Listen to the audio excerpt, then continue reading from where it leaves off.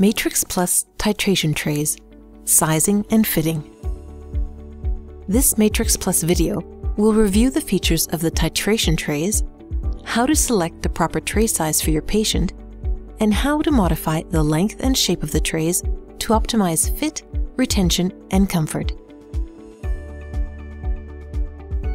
Each MATRx plus tray kit includes the following.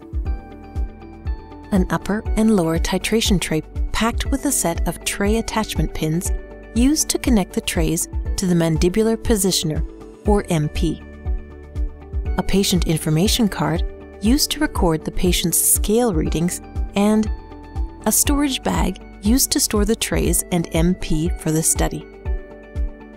Now let's review how to size and fit the titration trays. Titration trays are available in medium and large sizes, and each set of trays consists of an upper and lower tray. On each tray, a label located near the trim lines indicates both size and orientation. For example, MU indicates a medium upper tray, whereas LL indicates a large lower tray. In addition, there is a label located on the mounting bracket which indicates orientation only.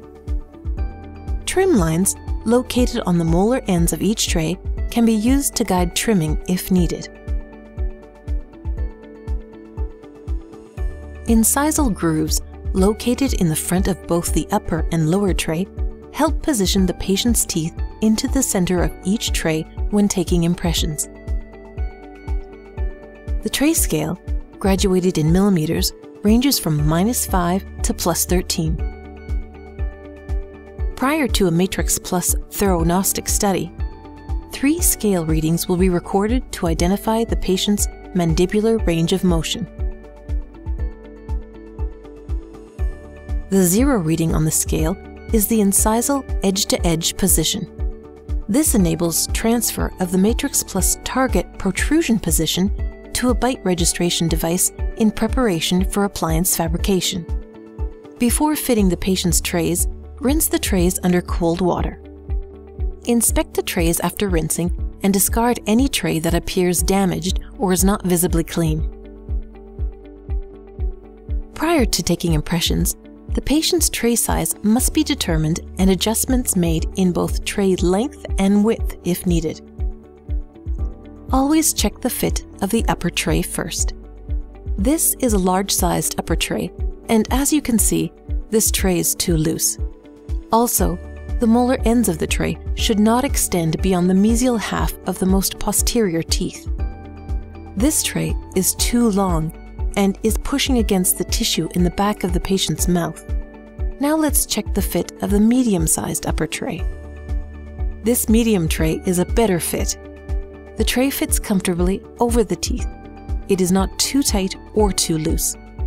There is no tissue impingement and the molar ends of the tray only cover the mesial half of the most posterior teeth. Now we can check the fit of the medium-sized lower tray this tray also fits well. In cases where the tray is too wide or too narrow to fit the patient's dental arch, the width of each tray can be easily adjusted.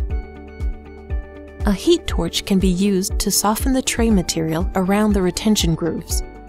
This will allow for easy bending and adjustment. Tray trimming should be done with a sharp pair of scissors. We recommend using crown and bridge scissors Trim the trays using the trim lines as a guide while maintaining the tray's shape and structure. Once you have finished trimming, ensure any sharp edges have been removed.